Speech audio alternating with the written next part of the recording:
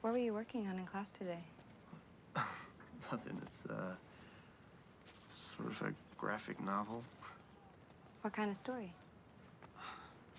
I guess you could call it a romance. Does it have a happy ending?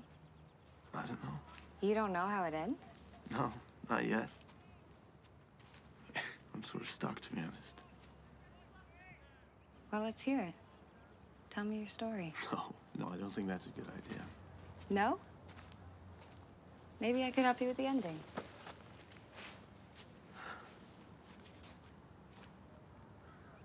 Okay. It's about this boy and this girl. And they love each other more than anything. But they can never be together. Why? Because there's this curse. Every 17 years they meet. And they fall in love. And just when they're happiest, the girl dies. So it's a tragedy?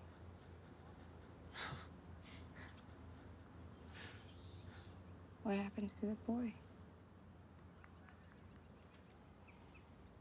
He waits. He doesn't age or change. He remains in love.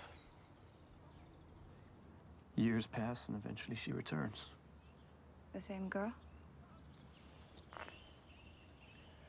She's changed. She has a new name, new family. She has no memory of him, but he knows it's her. It's her soul, reincarnated. And they fall in love.